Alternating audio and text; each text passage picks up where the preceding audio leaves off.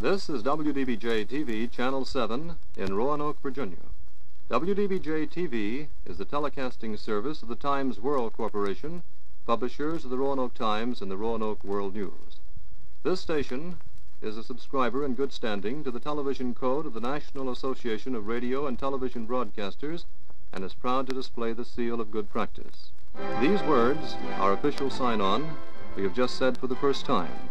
You will hear them often, these words, as a preface to the finest in entertainment, in news, in sports, in public service.